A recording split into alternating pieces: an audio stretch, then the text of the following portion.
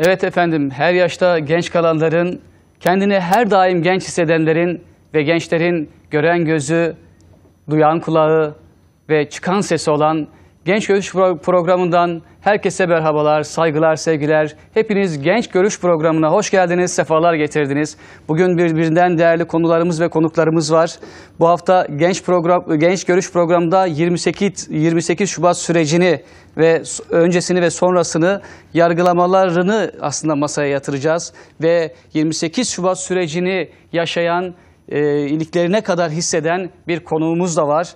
Ayrıca yerel seçimler yaklaştıkça siyasette, kulislerde siyaset konuşuluyor ve kulis, kulislerde de dedikodular şu anda dönüyor. E, e, yerel seçimleri konuşacağız. Yerel seçimlerde kim kiminle ittifak yapıyor, hangi illerden e, hangi partiler adaylarını belirliyor. Burada konuklarımızla onları konuşacağız ve mercek altına alacağız. Yine MHP'nin meclise taşımış olduğu, meclisin gündemine getirdiği af önerisi var. Af önerisi hangi e, detayları kapsıyor. E, kapsamadığı detaylar neler? Bunları konuşacağız ve 28 Şubat sürecindeki mağdurların da bu kapsama alınıyor mu? Onları konuşup yine mercek altına almış olacağız. Ve ben konuklarımı hemen tanıtayım. Hemen yanı başımda e, psikoloji yüksek lisans öğrencisi Bülent Şakar var. Bülent Şakar biraz önce de söylediğim gibi 28 Şubat mezalemini yaşayan, o günleri iliklerine kadar hisseden bir konuğumuz ve 16 yıl dile kolay demir parmaklıklar arkasında ve dört duvar arasında kalan e, bir e, birisi kendi hayatını anlatacak. 28 Şubat sürecini dillendirecek. Hep birlikte Genç Görüş programında kendisinden dinleyeceğiz. Hemen yanında senarist ve metin yazarı farklı bir kişilik, e, gerçekten renkli bir kişilik Doğukan Özdemir var. Konuğumuz bugün hoş geldiniz diyoruz kendisine de. Ve siyaset bilimci Recep Seyyar var. Hemen onun yanında da e, yayıncı. Elimizden geçen bu kitapların tamamen e, hemen hemen hepsi elinden geçen yine e, yayıncı bir kişilik Ramazan Dündarko'ya. Efendim tekrar hepiniz hoş geldiniz, sefalar getirdiniz. Ben hiç e, ara vermeden, vakitte kaybetmeden konuyla 28 Şubat süreciyle başlayalım ve hemen buradan e, Bülent Şakar'la başlamak istiyorum. E, siz şu anda psikoloji yüksek lisans öğrencisisiniz ve 16 yıl demir parmaklıklar arkasında ve dört duvar arasında kalan birisiniz. E, o günleri biraz anlatır mısınız? E, nasıldı o günler? Şimdi 28 Şubat süreci dediğimizde yani insan böyle geriye dönüp e, o dönemleri yaşayan, o dönemleri bilen insanlarla insan bir araya geldiği zaman ister istemez şey anlar ve o dönemde yaşananlar tekrar insanın gözünde canlanıyor. İnsan yeni- yeniden onu sanki yaşıyormuş gibi oluyor. Şimdi 28 Şubat dönemi aslında e, Türkiye'de bir e, sorunun mesela sorunun bir olmayan bir sorun sorun varmış mı gösterip bir kesimin bir e, görüşü, bir inancı, bir dini ortadan kaldırmaya yönelik bir proje plan olduğundan dolayı dolayısıyla 28 Şubat sürecini e, bugünkü genç nesil, genç arkadaşlarımızın yeterince anlamaya, anlamaması, onu kavramaması, o günlerden bahsettiğinde aman yani hiç kimse ta- tarihte sanki böyle bir şey olmamış gibi bazı yakınmalar, bazı şey, serzenişlerde falan bulunuyor. Şimdi 28 Şubat dönemi nedir, ne, değildir onu mesela ki şöyle izah edersek, e, ben o dönemde 19-20 yaşlarında bir e, daha bağında bir gençtim işte üniversite öğrencisiydim. E, 28 Şubat dönemi O zaman kaç yaşındaydınız? 19 işte 20 21 19, yaşta 20 yaşında. 20 yaşlarındaydım. Ee, sözünüzü unutmayın. Devam edeceğiz. Hemen e, senarist Doğukan Özdemir'e burada bir soru yöneltmek istiyorum. Yaşınız kaç? Ben 30 yaşındayım. 30 yaşındasınız. Ee, o günü e, hatırlıyor biliyor musunuz? Yani 28 Şubat tam 20 yıl önce, 18 yıl önce olmuş. O günleri hatırlayabiliyor musunuz? Şimdi şöyle bir şey söylemek lazım bu tip meseleleri ele alırken. 28 Şubat döneminin yaşandığı günler yahut işte hepimizin sıcağı sıcağına şahit olduğu 15 Temmuz meselesi yahut 12 Eylül meselesi. Yani bizim toplumsal hafızamıza birer anıt gibi dikilen bu günlere dair bir şeyler söylemek için o günlere şahit olmak mutlaka önemlidir. Ama ben hatırlıyorum işte takribi olarak söylemek gerekirse 20 yıl kadar önce yaşanmış bir meseleydi 28 Şubat. O günü net olarak hatırlamasam dahi geride bıraktığımız 20 senelik süre zarfında birçok yerde 28 Şubat'ın farklı tezahürle karşı karşıya kaldık. Yani ben o güne dair bir şey söylemek gerekirse daha mütedeyyin, daha mutasip, işte dini vecibelerini yerine getiren komşularımız, akrabalarımız, aile bireylerimiz, kendi şahsımız adına çok böyle insani temelde kay- temelde kaygılar duyduğumuzu, e, bu vecibelerin, ibadetlerin yerine getirildiği anlarda, esnalarda, öncesinde yahut sonrasında bir camiden çıkarken yahut bir camiye girerken çocuk olmamıza rağmen o insanların yüzlerindeki ifadelerde, bunların bahsedildiği ortamlardaki o gergin atmosferde bunların hepsine şahit olduk. Ve ben şunu söylüyorum tekraren. Kaç yaşındaydınız tam olarak o zaman? Ben o takrib işte 10 11'i o civarlarda. Ailenizin tepkisi nasıl oldu mesela 28 Şubat sürecini yaşarken siz çocuksunuz. Aileniz ne konuşuyordu? Yani tabii bu çok spesifik bir örnek ya da çok daha özele inen bir örnek ama şunu söyleyebilirim. Biz hem çekirdek ailem hem geniş ailem olmak suretiyle biz çok aydınlanmacı bir aileyizdir. Yani bugün işte bir darbe meselesi, darbeye kalkışanlar, darbenin mağdurları, bir zulüm meselesi, bir mazlum hikayesi bize bir şekilde temas etsin yahut etmesin. Direkt merkezinde biz olalım yahut biz o çemberin ziyadesiyle dışında olalım fark etmeksizin. Eğer bir olmaz bir durum varsa, insani bir hakkın ihlali söz konusuysa, demokrasiye mugayir bir hamle cereyan ediyorsa bizim takınacağımız tavır hem şahsım adına hem kendi geniş ailem, çekirdek ailem adına bunu gönül rahatlığıyla söylüyorum. Ortadadır. Tabii ki tedirgin olduk. Tabii ki rahatsız olduk. Tabii ki bir şeyler söylemek istedik. Tabii ki itiraz ettik. Yani bunu e, bir darbeye karşı çıkmak için yani mesela atıyorum işte gündemde şu an masaya yatırdığımız konu 28 Şubat olduğu için söylüyorum.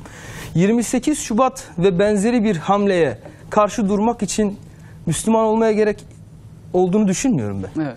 Zaten bu erdemi ortaya koyabilirsek, bu pratiği, bu mevcut salahiyetli tutuşu, duruşu ortaya koyabilirsek bir daha 28 Şubatlar olmaz. Bir daha 15 Temmuzlar olmaz. Bir daha 12 Eylüller olmaz. Hemen Bülent Bey'le devam edelim. Sizi e, tevkif etmeye geldiklerinde siz neredeydiniz, ne yapıyordunuz? Öğrenci miydiniz, okulda mıydınız, evde miydiniz? Nasıl oldu ve hangi suçtan dolayı size tevkif ettiler? E, hangi e, gerekçeyle sizi aldılar? Şimdi bizi ilk e, olayın ilk başlangıç boyutunu ele- oradan başlarsak daha iyi olur. O işte o dönemde üniversitede öğrenciyim falan. E, asıl 28 Şubat sürecinin kırılma noktası e, daha doğrusu darbeciler için asıl kırılma noktası şeydi. O, e, başörtüsü eylemi için el ele tutuşma zinciri olayı falan vardı. Evet. O gösteriler falan herkes yani Türkiye'de e, zulme karşı ve zulmü e, def etmek için bir araya gelmiş bir sürü bi- binlerce belki milyonlarca insan vardı ki İstanbul'dan başladı ta Kocaeli'ne kadar şey o şehir El ele uzandı diye tutuşuldu, ele tutuşlardı. Biz o, o gösteriler falan katılmış işte. Ondan sonra e, aradan bir zaman geçti işte bir 6-7 ay falan geçtikten sonra e, Ramazan'ın son günüydü. Ramazan e, bayram akşamıydı. Ben e, Bursa'daydım o zaman. E, Amcam iş yerinde e, onlar, onlarla konu- oturup konuşurken bir anda polis geldi içeriye. İçeri girmez e, direkt hepimizi orada müşterileri işte biz hepimizi e, yaka paça edip işte yere yatırıp işte gözaltına aldılar falan. Hiç sorgusuz sual. Yok yani. hiçbir şey söylemedi. Sonra polislerden birisi dedi ki işte e, bunlar hepsini ayrı ayrı alın, şunu ayrı alın, beni gösterdi ayrı alın falan diye. Ne oluyor falan ne, ne dediğimizde ya dedi bir şey yok falan. Karakola gelin bir ifade verirsin. E dedim ifade vermek için yani böyle yaka paça yere yatırma işte şey yapma kelepçeleme olur mu falan. Söyleseniz biz gelirdik falan diye. Yok dedi. Ondan sonra bizi arabaya aldıklarında adam şu polis o ekibin şefi falan dedi ki hiç üzülmeyin, hiç şey yapmayın falan dedi. Biz dosyayı hazırlamıştık falan dedi. Siz ne alacağınız ceza, hangi ne kadar ceza alacaksınız falan. Bunların hepsi biliniyor. Sadece formal Yani sizin ne kadar ceza Evet, evet. alacağınız e, formalite icabı ayarlanmış. tabii tabii formalite icabı şu anda sizi götüreceğiz. Sizin yapacağınız orada tek şey bizim hazırlamış olduğumuz o şeye e, dosyaya imza atmak. E, atmazsam ne olur falan dedi. Atacaksınız. dedi. Oradan atmadan oradan çıkmazsınız falan dedi. Ve bizi emniyete götürdüklerinde e, Aralık aydı falan kış bayağı bir kış, soğuk bir kıştı. 4-5 gün boyunca e, işkence falan yaptılar işte. Nasıl, ne tür işkenceler yaptılar? Daha çok e, psikolojik e, işkenceyle birlikte e, fiziksel işkence falan yapıldı. Mesela diyelim ki havanın mevsimin kış olmasından dolayı e, belki burada söylemekten hicap diyoruz. Hayat sıkma olayı falan vardı böyle poşetlerle falan. Çırılçıplak yapıyorlardı. Ondan sonra tazikli suyun altına tutuyorlardı.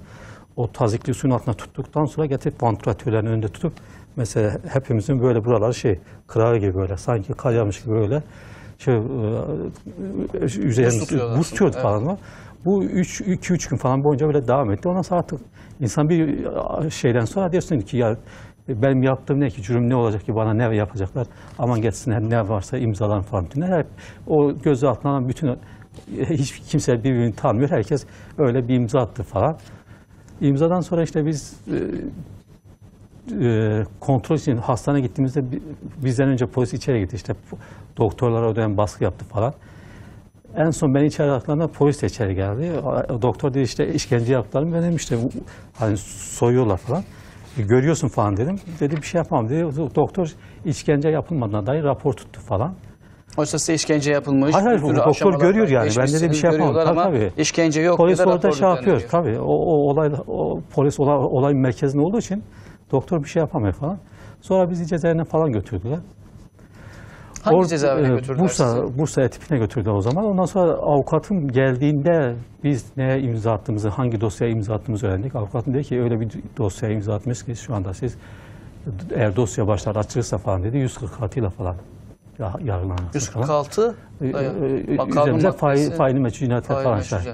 Sonra orada ilginç olan bir olay var. Benim avukatım o zamanlar DHKP yani sol görüşlü bir avukatındı. Ee, ismini buradan zikretmeyelim. Ee, polisler onu tanıyordu falan. Ee, emniyetin koridorlarında onu görünce işte avukat bey sizin burada ne işiniz var? Hmm. O işte sağ görüşlü şu şu şeyden siz işte soldan falan. Avukat da diyor ki ben avukatım Sağ sol diyor. diye bir ayrım vardı öyle, öyle mi? Avukat diyor ki ben şeyim, e, ben avukatım diyor. Benim için fark etmiyor yani sağdan olmuş soldan olmuş. Ben buraya onu savunma falan gelmişim. Avukat diyor ki boşuna gelmişsin falan diyor. Ne diyor avukat? Diyor ki o, biz onları onlar için öyle bir dosya hazırlamış ki hangi mahkemede yargılanacağını, onlara hangi savcı bakacağını, hangi mahkeme bakacağını hepsini biliyor falan. Avukat diyor ki hadi canım sen Bunu de. söyleyen kim peki? Bunu söyleyen bizi e, ben bunu özellikle mesela burada bel- belirtelim falan.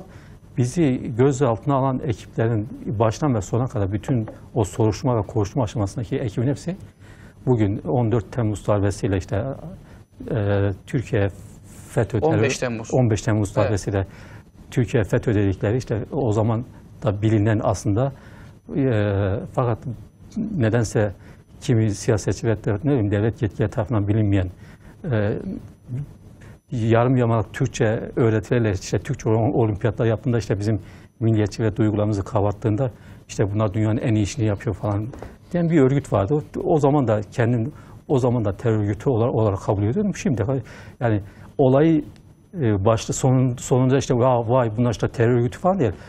Ki bizim işkencemizin son günde neden Fethullah Gülen'in kitaplarını okumuyorsunuz diye ona herhangi bir e, Ve size neden e, Fethullah Gülen'in kitaplarını okumuyorsunuz Okumuyoruz diye d- d- şey işkence ediyorlar tekrar. bir kaba e, dayak falan attıklarını biliyorum falan. Ve orada polisin söylemiş oluyor. Onun hakkında herhangi olumsuz bir şey söylediğinizde başınıza neler geleceğini falan biliyorsunuz falan.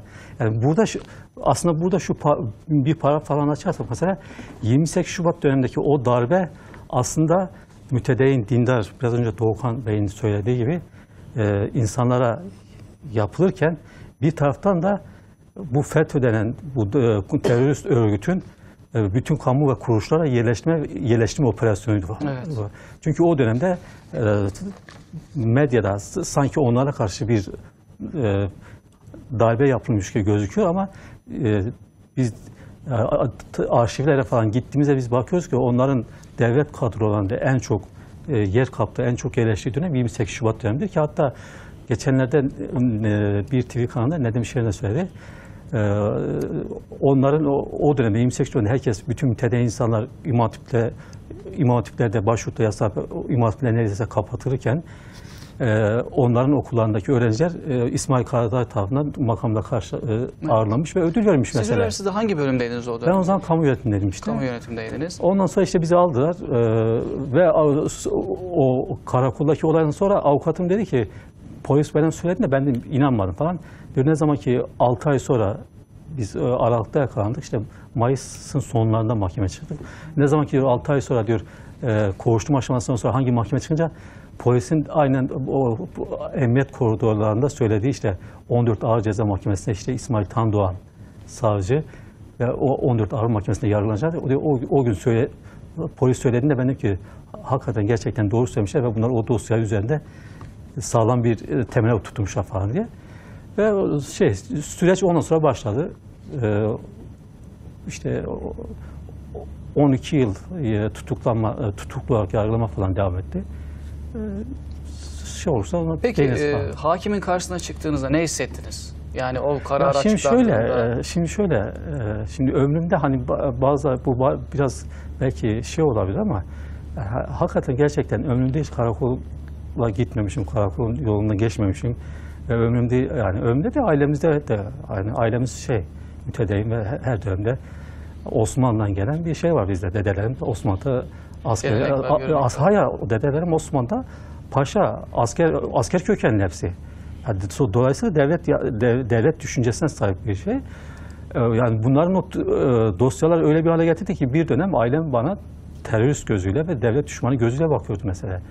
Yani sen polisin bu iddianamesi doğruysa bizim böyle bir çocuğumuz böyle yani bir bir şeyimiz olamaz. falan. ailesinden dahi o iddianame kopardı. Tabii tabii koparıyor. Yani aile bağlarınızı e, iyice zedeledi ve kopardı. İşte değil mi? Yani aile o dönemde haklı olarak onu söylüyor. Hani kim olsa öyle, öyle söyle yani. Bir ülkede yaşıyorsun, sen o ülkenin e, e, vatandaşısın ve sen o ülkenin ekmeği sunuyorsun. Sen kalkıyorsun, yabancı güçler biliyorsun. Belki o ülkenin temellerini, o ülkenin geleceğini karartacak, karartacak bir fiil eylemde bulunsan, yani her anne baba dinine, diyanetine sahip olan her anne babanın bence takınacağı tavır odur. Ve rahmetli annem ve babam o zaman öyle söylemişlerdi. Yani bizim polisin söyledikleri doğruysa öyle bir evladımız falan yoktur falan diye. Ama zaman sonra zaman geçti. İşte e, 28 Şubat döneminin nasıl bir kurgu olduğunu, kim ve kimler tarafından düzenlendiği yavaş yavaş söylenince tabii o- dönemde de ben annem ve babam gibi abilerim ziyaretime falan geldiğinde onlara söylüyordum. Bak diyordum ki bizi gözaltına alan ekip komple FETÖ, bir polis ekibi yargılayanlar onlar abim gibi falan diyorlar ki ya onlar onlarsa sizi bırakırlar falan merak etmeyin falan. Ha, Niye? bir de onlarsa bırakırlar. He, niye falan öyle? Ya işte onlar da sizin gibi dindar falan. Hmm. Ben diyordum abi bak bırakmayacak falan. İnanmıyorlar falan. Ondan sonra işte e, yargılama süreci ilk e, Sizi kim yargıladı? bizim Yani biliyor ilk musunuz hakimin, savcının E, tabii tabii bizim ma- e, mahkeme şöyle sürekli e, değişen bir yapıya sahip oldu. Biz ilk çıktığımızda işte savcı hiç değişmedi. Savcı işin başına ve sonuna kadar hep, kaldı İsmail Tandoğan. Kim? E, İsmail Tandoğan. İsmail Tandoğan. Ha. Şimdi ne yapıyor? Şimdi yurt dışına Almanya'ya kaçtı falan Zekeriya, Hı, en son şeyler, Zekeriya Öz'le birlikte. İlk e, mahkeme heyeti başkanı Metin Çetinbaş'tı. Kendisi Kemalist, ulusalcı, sol, sol eksenli birisiydi. O zaten üçüncü mahkemede neredeyse şeyi bitirdi. Celseleri Celseyi bitirdi. Bize dedi ki dördüncü mahkemede dedi e, savunmanızı hazırlayın mahkeme bitiyor ve e, şeyi karar belli. Ağırlaşmış müebbet hapis cezası falan. Sonra işte bir kişi daha yakalandı. O bir, e, ne olduysa onu da bizim dosya eklediler. Orhan Eren isminde bir Siirtli bir ar- arkadaşımız. Ondan sonra dosya uzadı. Ondan sonra o, o görevden alınınca e, o Metin Çetinbaş aynı zamanda e, Almanya'da tutuklan e, Almanya'da sınır değişti Türkiye'ye geldiğinde Metin Kaplan'ı da yargılayıp hatta e, o zamanki Kemalist e, Hürriyet Gazetesi'nin yazarları bile çıldırtacak bir iddianameyle e, Metin Çetin, Metin Kaplan'ı Şeyh Said'in e, hareketinden yola çıkarak ona ağırlaşmış müebbet hapis cezası verilen bir şeydi. Sonra e, Erkan Canikli diye bir avukat geldi. Ha- ha- Hakikaten gerçekten kendisi buradan onu yine minnetle, saygıyla anıyorum. Kendisi gerçekten hukukçuydu. E, olaylara hukukçu gözüyle bakıyordu. Ama o da e, mahkemenin bir zaman aşma, aşman sonra dedi ki ben bu mahkeme, bizim dosya sürekli anlar, uyuşmazlık mahkemeler falan gibi geliyordu. O dönemde mahkeme dosya uyuşmazlık mahkemesindeydi. Bana şunu demişti ben senin suçsuz olduğuna herhangi bir fiili e, hatta e, propaganda amaçlı herhangi bir suç işlemediğine inanıyorum. Dosya uyuşmazlık mahkemesinden geldiğinde seni bırakacağım demişti. O sırada Rüstem Er onun yardımcısıydı. Öyle ona dönüp ters bakmıştı. Böyle ters ters falan bakmıştı. Sonra e, o e, Erkan Canikli'ye de yine bu e, çete bir kumpas kurdu. İşte onun telefonlarını falan dinledi. Şeylerini falan e, montaj ses kayıtları falan düzenlediler.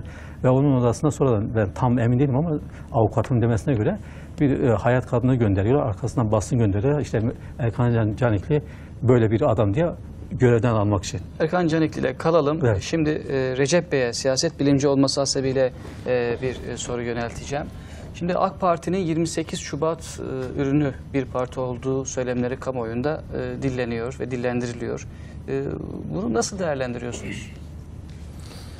Yani tam olarak nasıl bir ifade neyin üzerine oturtacağız? AK Parti'nin 28 Şimdi, e, Şubat yirmi- ürünü derken 28 Şubat'tan sonra AK Parti'nin öne açıldığı şeklinde bir e, kamuoyunda Yani dillendirilen 28 bir e, imaj var.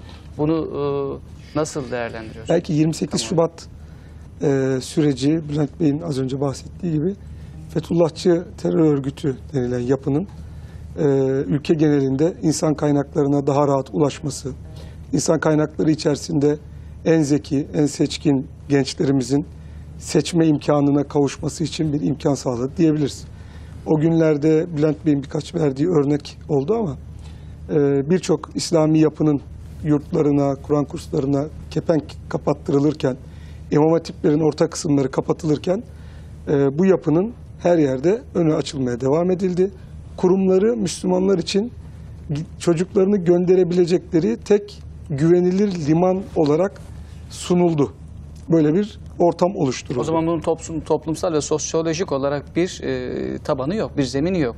Aslında orada e, yine Bülent Bey'in söylediği bir şey vardı. Oradan bir e, cımbızlayarak alalım isterseniz.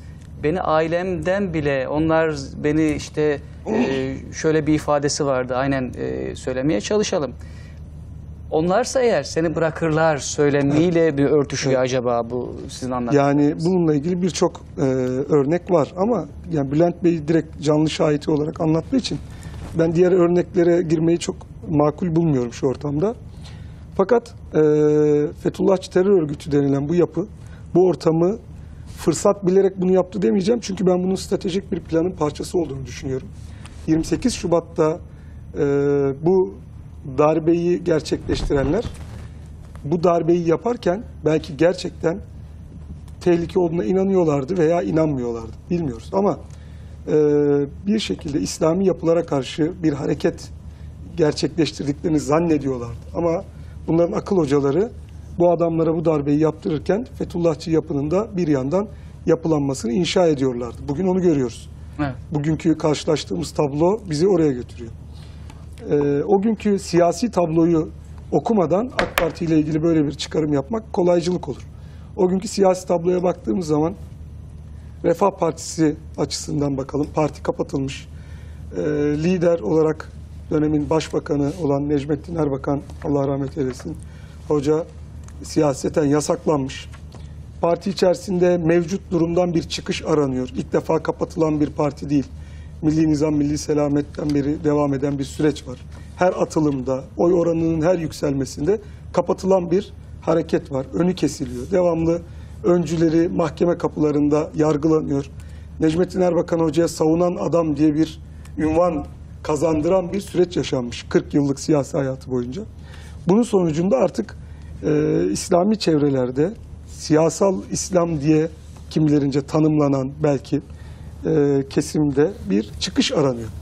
Bu çıkış içerisinde Fazilet Partisi kuruluyor. Fazilet Partisi'nin de artık kapatılmasıyla e, bir ayrım, yol ayrımına geliniyor. Yani biz bir parti kuruyoruz, kapatıyorlar. Biz bir parti kuruyoruz, kapatıyorlar. O zaman farklı bir şey denememiz lazım diye bir fikir ortaya çıkıyor. Bir çıkış yolu aranıyor. Çünkü o günkü mağduriyetler işte Bülent Bey birçoğunu anlattı, bahsetti, işaret etti. Ee, evet bir kısmı hapishanelerde yattı. Bir kısmı okullarını bırakmak zorunda kaldı. Memuriyetten atılanlar oldu, istifa etmek zorunda kalanlar oldu. Yurt dışında eğitimine devam etmek zorunda kalanlar oldu. Ee, Birçok alanda mağduriyetler yaşandı. Yani bu kadar insanın bir çıkış beklentisi var. Bir özgürlük arzusu var. Ve e, belki burada AK Parti'ye giden yolu açan Necmettin Erbakan Hoca'nın Refah Partisi'nin kapandığı Anayasa Mahkemesi kararını açıkladığı bir meşhur açıklaması vardır. Arkasında herkesin dizili olduğu, e, sükunete her zamankinden daha fazla ihtiyacımızın olduğu bir gündeyiz. Tarihin seyri açısından baktığımızda bugün yaşanan şey sadece bir nokta kıymetindedir cümlesi belki AK Parti'nin önünü açan en önemli cümleydi. Çünkü Necmettin Erbakan Hoca köklerini çok gerilere dayadığı bir siyasi hareketi liderliğini yürütüyordu. Ve Refah Partisi kapatıldığında iktidara onca yıl sonra ulaşmış bir hareket e, başarılı bir şekilde iktidarda olduğu süreci devam ettirmiş. Yani 6 ay içerisinde memura verdiği müthiş zamlar var. İşte sanayi hamlesiyle ilgili yürüttüğü çalışmalar var. Hiç borç almamış vesaire birçok başarılı politika yürütmüş. E, bunu ortaya koymanın mutluluğunu yaşarken birden bir kapatma süreciyle karşılaşıyor. Bunun hayal kırıklığını yaşayan bir taban var. Bir siyasi kadro var. Lider yasaklanmış. Bu tabloda bile Necmettin Erbakan Hoca diyor ki bu tarihin akışı içerisinde sadece bir nokta kadar e, değer ifade etmektedir. Şimdi böyle bir tabloya baktığımız zaman bu bakış açısına sahip olan belki öğrencileri yeni bir çıkış yolu arıyorlar. Evet bu tarihsel bir süreç. Anadolu'daki süreci 1071'e kadar dayandırıyoruz. Sultan Alparslan'a kadar dayandırıyoruz. E, İslami anlamda yorumlarsak daha gerilere iniyor. Belki e, Erbakan Hoca'nın deyimiyle bu Habil'le Kabil'in kavgasıyla başlayan bir süreç.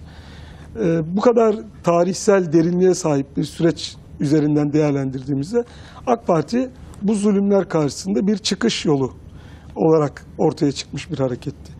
Ve e, belki Anadolu M hükümetinin de Yani toplumun e, rağbet gördüğü e, ve toplumun ihtiyacına bir cevap olarak karşılık verdiği için toplumun karar verdiği bir parti. Evet, bu hem özgürlükler yönünde hem de e, ülkenin içerisinde bulunmuş olduğu ekonomik kaos, Aslında ekonomik kriz. boyutu da toplumun tercihlerini oluşturmuş. Tabii bu yüzden isminde de iki isimle ortaya çıkıyor. Adalet ve kalkınma. Evet. O günkü en çok ihtiyaç duyulan iki terime cevap verme odaklı bir hareket olarak doğuyor. Doğukan Bey şimdi e, burada Bülent Bey'in anlattıklarından yola çıkarak e, 28 Şubat sürecinin arkasında, perde arkasında FETÖ'nün olduğunu görüyoruz. E, ve günümüzde de CHP e, mağduriyetler konusunda bayağı hassas. E, şu anda mesela 15 Temmuz'la ilgili mağduriyetler de var ki 28 Şubat'ı e, tezgahlayanlar yine 15 Temmuz'da da işin arkasında ve perde arkasından FETÖ çıkıyor. 28 Şubat mağduriyetleri ne? Ee, acaba CHP bu kadar hassas diğer konularda e, ya hassas yaklaştığı kadar yaklaşabiliyor mu? Şimdi Yaklaşıyor. ben şöyle bir şey söyleyerek başlamak istiyorum bu sürece abi. Biz esasa dair bir takım şeyler konuşuyoruz ama usul ne yazık ki gözden kaçıyor. Şimdi ben konuşmaya başlarken de Usul ne mesela burada? hemen izah edeceğim, toparlayacağım da çok kısa. Şimdi biz işte darbelerden bahsediyoruz. İşte üstadın bahsettiği parti kapatma meselelerinden bahsediyoruz ki bence Türk demokrasisinin yüz karası bir olaydır. Bunu katiyetle tartışmam. Evet. Hiçbir siyasi partinin ne şekilde olursa olsun kapatılması hususunda asla iltimas ya da müsamaha göstermem söz konusu değildir. Ama şu detayı atlıyormuşuz gibi geliyor bana. Yani İmam Rabbani'nin çok enteresan bir lafı vardır. Yani determinizm dediğimiz hikayeyi özetler. Sebepler sebeplere sebeptir der. Yani bugün elde ettiğimiz sonuçların hiçbirisi kendi kendine tezahür etmemiştir. Sosyoloji boşluk bırakmaz, boşluk tanımaz. Yani bugün işte biraz önce üstadın söylediği işte Türkiye'nin nitelikli ümit var, ümit vaat eden gençlerin bir şekilde istihdam edilmesi, kendi içerisinde toplanması ve benzeri ve benzeri. Yani bir dönem her ne şartlarda olursa olsun ama militan kafasıyla ama mecbur olduğu için bilmem ne bu tuzağa düşmüş gençler yani sadece tuzak olarak da söylemiyorum. Yani bu işte örgütlü yapı, organize suç, kötülüğün örgütlü hali bu adamlar. Nasıl bir boşluk yakaladılar ki buraya geldi. Geri gelelim, nispeten daha ileri gelelim. 15 Temmuz'a bakalım, 12 Eylül'e bakalım. Bizim burada konuşmamız gereken şey sanırım, yani bence biz 15 Temmuz'u konuştuk. 2 senedir, 2,5 senedir takribi konuşuyoruz. 12 Eylül'ü 30 senedir konuşuyoruz. İşte 28 Şubat'ı hakeza işte 20 senedir konuşuyoruz. Nasıl bir ders çıkaracağız bunu? Benim söylemek istediğim şey tam da bu. Yani evet biz esasa dair konuşuyoruz ama yani bunu doğuran... Usul ne olacak? Bunu- Usulün bunu burada ne doğuran- olması bunu gerekiyor? doğuran- Gençler nasıl birleşecek? Ya yani gençlerin- sağı solu tüm ideolojik, vatanın, milletin e, geleceği, bekası ve istikrarı yönde gençler nasıl birleşmeli? Ya bir kere şu var yani dünyada e- en büyük enerji kaynağı gençleri olan bir ülkeyiz. Bunu tartışmıyorum. gençiz, genç evet, görüşteyiz. Evet yani bir kere bir şey durumu var. Yani ben mesela şahsen düşünüyorum yani çok basit örnekler üzerinden anlatacağım. Benim bir evim olsa, bir hanımım olsa ve bir çocuğum olsa ve bir arkadaşım misafirliğe gelse benim oğlum ben o evde otururken bir başkasına baba dese rahatsız olurum ben. Ne, ne oluyor gibilerinden rahatsız olurum. Şimdi burada bir sevk ve iradeden sorumlu mesul bir aygıt var. Bu aygıt bütünüyle bir memleketin teşekkül ettiği ne varsa, nasıl bir mecra varsa, nasıl bir saha varsa burada söz söylemek, sevk ve idareyi üstlenmek durumunda. Doğru mu? Burada mutabık mıyız? Buna, buna muarız bir bakış var mı? Yok. E şimdi gençlerin o sevk edilmesi, onların doğru kanalize edilmesi, bir başka odağa ihtiyaç duymaksızın kendi bütün ihtiyaçlarını devletinin sağladığı imkanlarla gidermesi şartında bugün işte FETÖ gider, BETÖ gelir, BETÖ gider, bilmem ne gelir. Böyle bir odağa ihtiyaç duymadığı zaman bütün ihtiyaçlarını kendi devletinin sunduğu imkanlarla, hizmetlerle temin ettiği zaman bugün böyle bir yapılanmaya bu topraklarda müsaade edemezsin. E olmaz zaten. O boşluğu yakalayamazsa oradan girmez. Yani o surda o gedik açıldı mı o gedik büyür. Mühim olan o gediği açmamak. Bir başkasına yani Türkiye Cumhuriyeti vatandaşı olarak vatandaşlık bağlıyla, yurttaşlık bilinciyle birbirimize bağlı olduğumuz bu misak-ı milli dahlinde biz ihtiyaçlarımızı herhangi bir başka odağa ihtiyaç duymadan giderebilirsek bu tamamdır. Yani şimdi biz konuşuyoruz 82 darbesi 50 yıldır konuşuluyor. Tamam. E ondan sonra 28 Şubat olur. Ya biri de çıksın desin ki kardeşim bizim tarihimiz yani 90 küsur yıllık Türkiye tarihi darbeler tarihidir. Öyle bir sistem var ki 20 yılda bir spazm geçiriyor. Ya buna stent mi takılacak? Ya buna bir bypass mı yapılacak? Buna nasıl bir müdahale edilecek? Bunu biz hiç konuşmuyoruz. Nasıl müdahale edilmesi gerekir? Nasıl ne, neler düşünüyorsunuz bunlara ilgili mesela? Bir genç olarak neler var kafanızda? Onu bir kere ben paylaşın. şundan çok rahatsızım. Yani hangi cenah, hangi kesim, hangi fraksiyon, hangi bakış, menfi yahut müspet fark etmeksizin söylüyorum. Bu ülkenin insanları tarihlerine bir başkasına doğrultulacak silahı aramaya çalıştıkları bir cephanelik gibi bakıyor. Bu, bu, bu, bunun kimseye bir faydası yok. Biz işte bir karşıtlık hikayesi var. Bu karşıtlık hikayesinin dahlinde verilmiş kayıplar var, bedeller var. Bu bedellerin nihayetinde öç alma psikolojisi, motivasyonu çarpan oranla her geçen gün artıyor. Çözümsüzlük berkitiliyor ve sonuçta tartışmasız bir sonuçsuzluğa mahkum oluyoruz. Ya tamam yani burada aslında ben e, programa gelmeden önce de yani asıl temas etmek istediğim hassasiyetle derinlikle ele aldığım yerde burasıydı. Biraz sonra ben moderasyona çok müdahale etmek istemiyorum ama bir adaletin tesisi ve Sözünüzü balla keseyim. Şimdi çok kısa bir reklam arası vereceğiz ve hemen e, kaldığımız yerden devam edeceğiz.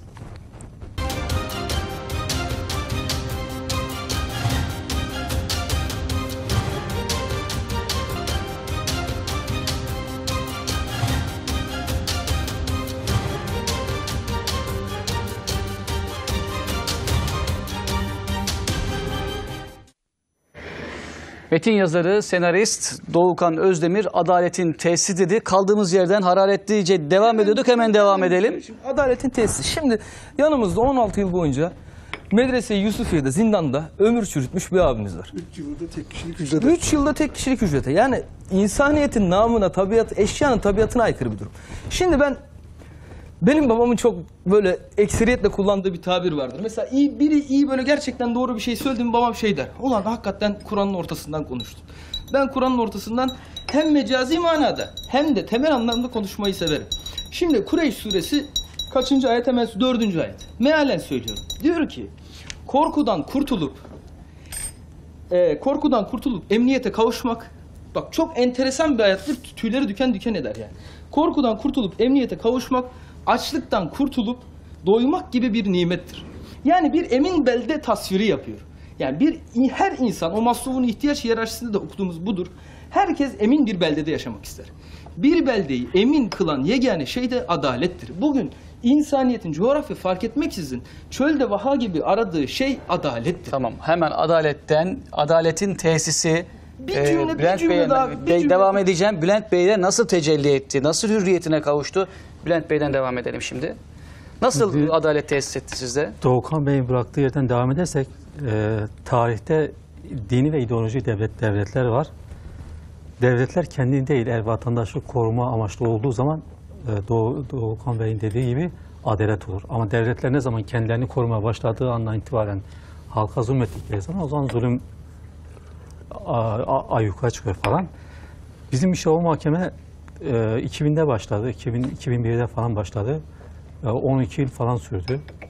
e, 12 yıl sonra 12 yıl karara bağlanmadı mı? yok peki? bağlanmadık. 12 yıl içeride siz 12, yatıyorsunuz, dört duvar arasındasınız, soğuktasınız, işkenceler yapılıyor ve 12, 12 yıldır karara bağlanmadı. Yok bağlanmadı işte. Ondan sonra işte o e, Erkan Bey aldıktan sonra mahkeme heyeti tamamen e, şeye tamamen FETÖ'cü çetenin eline geçti. Başkandan tut üyelere kadar hepsi savcı falan.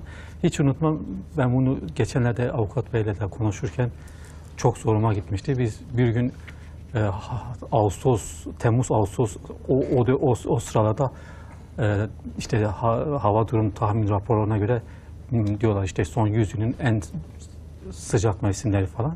Biz işte elleri kelepçeyle falan işte o k- kan Eskişehir'den alınmışız. Şeye e, mahkemeye getirmişiz. E, adli tatil süreci olduğu için mahkemeye şeyler bakıyor. Nöbetçi hakimler falan bakıyor. E, İsmail Tandoğan şöyle e, mahkeme etti böyle işte. İsmail Tandoğan şöyle sırtını dönmüş. Orada 5-4 yaşındaki bir çocuk var. Onunla oynuyor. Mahkemenin başına sonuna kadar dönüp iddianemeye, şeye hiç hakime, savcıya bizi hiç bakmadı falan. İnsan yerine koymuyor. Hayır hayır hiç zaten orada şey yani bir kibir var bir, bir şey var yani benim ha- hazladığım iddianeme doğrudur işte tamamen kesinlikle. O çocukla oynadı, gülüyor, eğleniyor falan. Mahkemenin sonunda hakim bey diyor ki sayın savcı e, işte savcım sizin görüşünüzde adam orada bile dönüp işte sözünü söylemedi. "Aa, Sırtı bize dönük çocukla oynuyor. e, e, tutuklu hallerin devamına. diye hükmetti. Ve zaten hakim de dedi ki bu mahkeme göstermekte çünkü biz e, mahkemenin gerçek hakimle değiliz, yedek hakimle, yani nöbetçi hakimleriz. Sadece gelmişsiniz buraya bir mahkeme görülsün falan diye, kayıtlara öyle geçsin diye. Ondan sonra 102 tahliyeleri falan oldu. O 102 tahliyeleri olduğunda işte benim e, 102'den tahliye olmama 3 ay, 2, 1,5 ayım falan kalmıştı. Oradaki işte arkadaşlarla vedalaşırken 1,5 ay sonra dışarıda görüşmek üzere ayrılmışlardı. Ona 102'den tahliye olmuşlardı. Ee, onların tahliyesinden bir hafta mı, iki hafta sonra işte bir gün e, koğuşta tek başımayım. Herkes gitmiş de benden başka kimse kalmamış. Ee, ikindi namazını kıldıktan sonra işte Kur'an-ı Kerim okuyordum üst katta falan. Allah kabul etsin. Ecmain. Ondan sonra o şey birden şey geldi. E, infaz çünkü şey mesai saati bitmek üzere. Mesai saati bittiğinde cezaevinde kesinlikle e, tahliye bile gelse çok zor. Mesela sabah bekle falan diyorlar. E, ben işte Bülent hocam Bülent hocam deyince buyur dedim falan. İşte dedi ki bir aşağı gelir misin falan diye. İndim aşağı hayırdır falan dedim. Ya dedi ki e, sana bir şey söyleyeceğim ama yani kusura bakma falan dedi. Ben o anda şey annem hasta falan işte annemin tiroid hastası falan. Anneme bir şey mi ya ölüm mü falan vardı. Yok diyor keşke öyle bir şey olsa falan. E dedim ondan başka da insana ne olabilir yani. Ya dedi ki sen hüküm giydin falan dedi. Dedim Ahmet Bey dedim mümkün dedim. iki hafta sonra ben mahkemeye gideceğim dedim. Nasıl hüküm giydim? Dedi valla herkes cezaevi müdürü işte hepimiz biz de şoktayız falan. E dedim ne, niye şoktasın? Mahkeme devam ediyor. Ya diyor o İstanbul'daki mahkemeyle alakalı değil. Nasıl vaka? İşte dedi ki Van Cumhuriyet 4. Bir dakika şimdi. Yani siz İstanbul'da bir mahkemeniz gözüküyor, gör- gör- gör- görülüyor. Evet, evet. Van nereden çıkıyor? İşte o anda işte birden hayırdır ne Van dedim. İşte dedi ki Van'da 16 mı 17 yıl bir şey başlatılmış, duruşma başlatılmış. Aslında normalde ve e, o duruşma hani e, baş, duruşmanın başlama sebebi ise lisedeyken arkadaşlar bir ara gözaltına alınmışlar okuldaki şeyi. Yani o gözaltına alma olayı da işte e, mahallede çocuklara işte Kur'an dersi vermekten veyahut da dini kitap okumaktan dolayı. Kur'an dersi Ha, verdiniz evet, evet. diye ondan tutuklandı. Onlara diyorlar ki size hayır Kur'an dersi değil. Lisedeyken size bu kitap okuma alışkanlığı kim kazandırmış? Onlar da benim sınıf arkadaşım da diyor ki hani gayet doğal. Ben dedim ki benim ya sıra, sıramda bir arkadaş vardı. Bana kitap okuma alışkanlığı kazandı. Allah razı olsun. Oyu falan. Beni oraya şey alıyorlar. Onların hepsi o mahkemede kimisi tutuksuz şey dosyası düşüyor, zaman aşımına gidiyor. Normalde örgüt üyeliğinden sonradan öğreniyorum. Ee, zaman aşımı 12 mi 13 yıl. Bizim mahkeme 14 mi 15 yıl devam ediyor. Ve ben tek başıma ve her duruşmada sanki ben duruşmada varmışım gibi gösteriyor. gösteriliyor imza. Sonra dedi, Bu mahkemeden hiç haberiniz bile Yok, yok. haberim Ya yok. bunu bunu bunu şu zaten. durumu Kafka yazsa bak şu durumu Kafka yazsa romanlarında yemin ediyorum bizim bu edebiyat eleştirmenleri Kafka gene döktürmüş. İşte bu olay yani bu Kafka dediğin hikaye yani çok Kafkaesk bir hikayemiş de hayatın gerçeği işte. Trajikomik E, yani. Kafka İstanbul eski yani. karara bağlanmadan Van'dan bir karar çıkıyor. O da e, Kur'an-ı Kerim'le alakalı. E, arkadaşı Kur'an-ı Kerim'i ben ondan öğrendim dediği için Hayır Kur'an-ı Kerim değil. Kitap, Kur'an-ı Kerim kitap, değil. kitap, Kitap okuma kitap, kitap okuma alışkanlığı. O yani kitap ben- okumayı önermiş O dönemde ben de yeni. Kur'an'ken daha tam şey şey değilim yani. Ama ne kitabı okuyorsunuz? Okuttuğumuz kitap Batı klasikleri, işte İslam klasikleri, ne, hani bugün toplumda kitap öğrenen mesela Ramazan Bey'in satmış olduğu kitaplar yani. Ramazan işler nasıl? Ondan sonra dedi ki asıl ilginç olan yönler var. Ya dedim ki hocam hele sen bir dosya bana falan getirsene falan dedi. Dedi ki mesai bitti. Ben gideyim ama müdür bey dedi şu an çok şey falan. Hayır dedim. Ya müdür bey diyor ki bu e, Bülent ho- hoca diyor işte o, Kandıra cezaevi o dönemde 12 yıldır bu cezaevinde bizimle birlikte duruyor.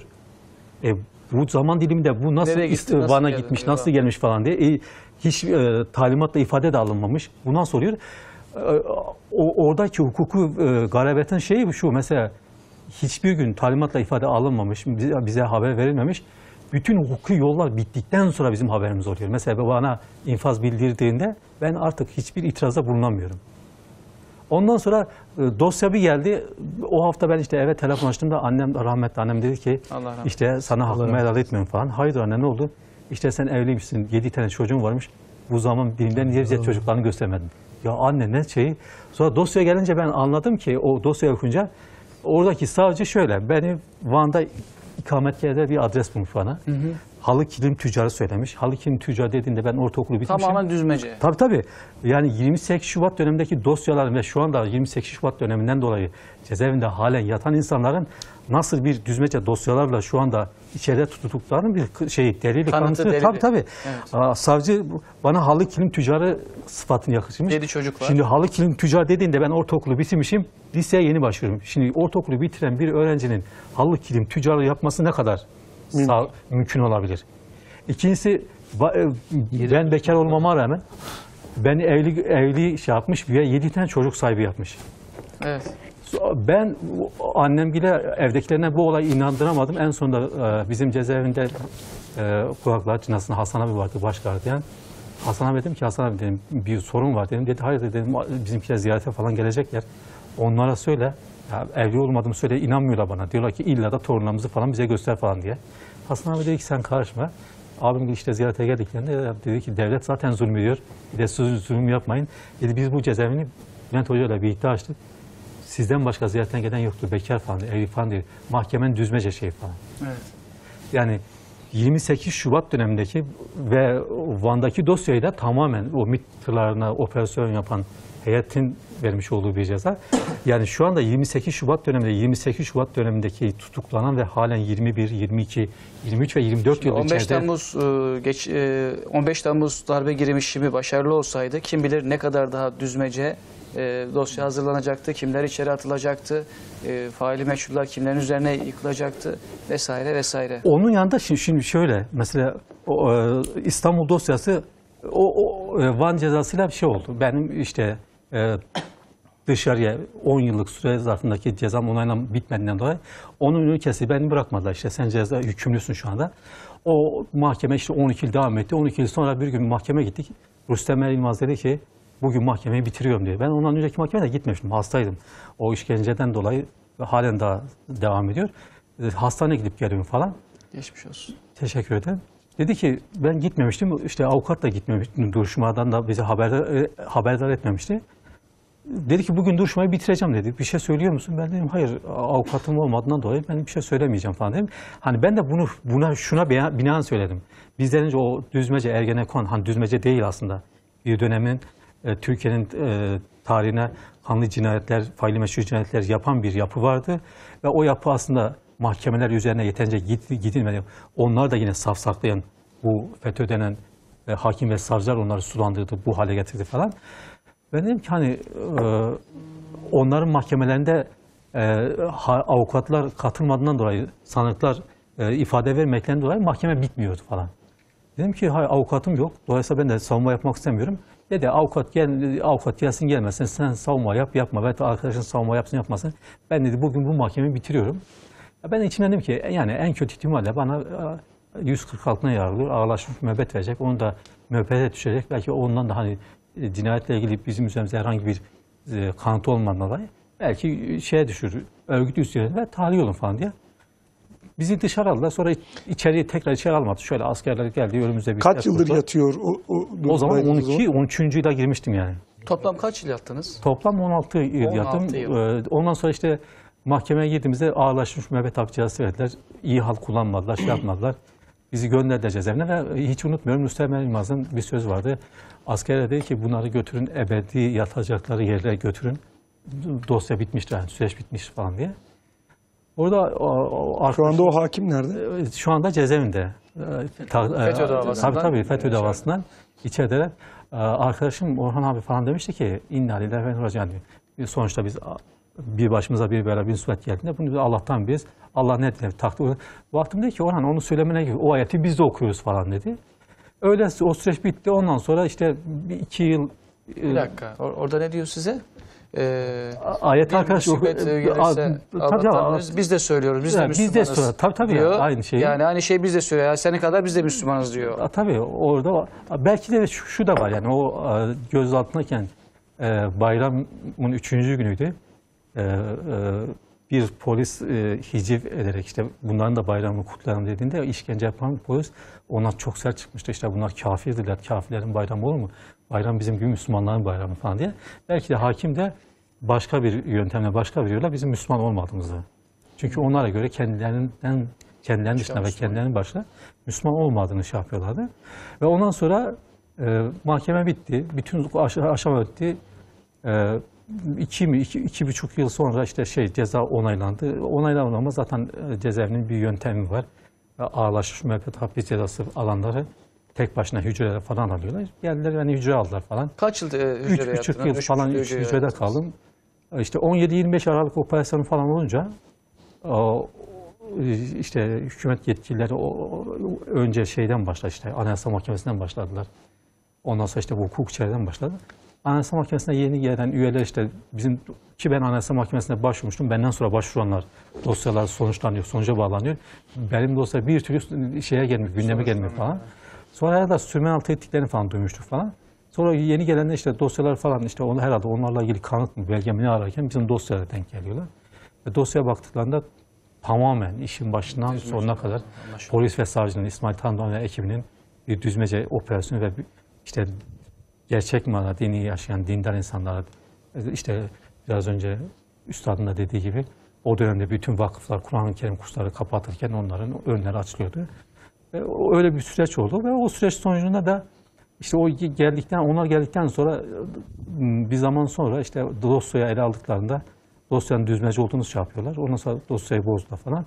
Darbe gününde içe, şeydeydim, cezaevindeydim. O darbe gecesinde şu var yani benimdeki beklenti şuydu. Darbe başarıya ulaşırsa cezaevinde herhalde o 28 Şubat döneminden içeri almış insanların hepsini infaz edeceklerine inanıyordum.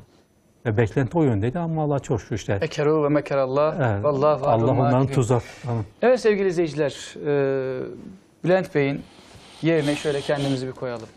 İdeolojimiz ne olursa olsun 16 yılın 13 senesini tamamen belirsizlikle geçirdiğinizi düşünün. Ve 3 yılını da tek başına tek bir hücrede geçirin. Bakın tekrarlıyorum. İdeolojiniz, ideolojiniz ne olursa olsun. Burada her görüşten genç arkadaşımız, genç kardeşimiz var. Bir yerine koyalım ve düzmece dosyalarla bizi nasıl nasıl köşeye sıkıştırdıklarını bir düşünelim lütfen. Ve hemen e, isterseniz 28 Şubat süreciyle ilgili e, Ramazan Bey'e hiç söz vermedik hemen. Ramazan Bey'e bir söz verelim. Ondan sonra diğer konularımıza devam edelim hızlıca. Recep Bey'e şeyle AK Parti'nin varoluşunu 28 Şubat'a e, dayandırdığı ile ilgili bir soru sormuştunuz. Ben onunla ilgili. Evet, sosyolojik ve toplumsal boyutu olarak kamuoyunda 28 Şubat'ı Yani AK Parti'yi mi doğurdu şeklinde ediyor. Evet, o da- neden doğurduğunu sormuştuk. Şu an konjektür gereği bu konuşulmasa da geçmişte evet bu böyleydi. Mütedeyyin insanlardan da bu şekilde oy alındı. O yüzden mesela 28 Şubat'ın postmodern bir darbe olduğunu kabul ediyoruz. Şu anki mevcut hükümette Cumhurbaşkanımız da bunu söylüyor.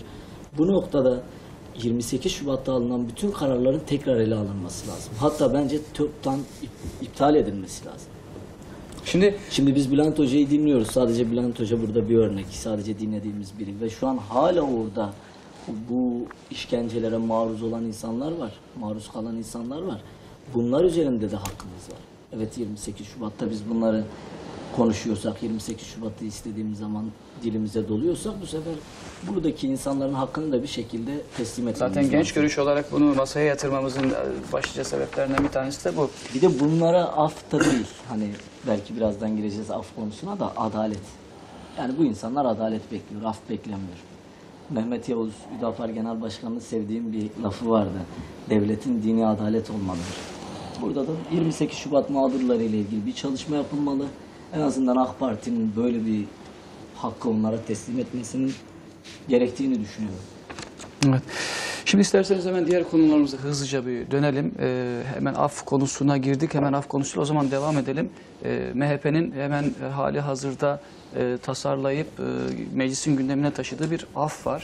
Tabii e, af, af e, AK Parti cephesinde pek kamuoyunda sıcak bakılmıyor gibi görünse de e, tabii e, Tayyip Bey, e, Sayın Başkan Erdoğan bununla ilgili önümüze gelsin bakalım konuşalım dedi ama şunu da e, belirtmeden geçemedi. Şunu söyledi.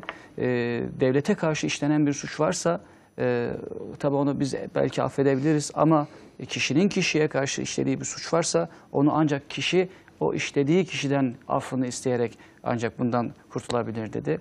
E, nasıl değerlendiriyorsunuz e, MHP'nin şu anda meclise getirmiş olduğu afla alakalı? Şimdi o konuda da ben yani bir nasıl söyleyeyim bir metodolojik bir yaklaşım biçimi aslında tercih edilmesi gerektiğini düşünüyorum. Yani bir suç var ve biz bu suçu bir şekilde cezalandırıyoruz. İşte celdesi var, işte müebbeti var, işkencesi var, kısası var.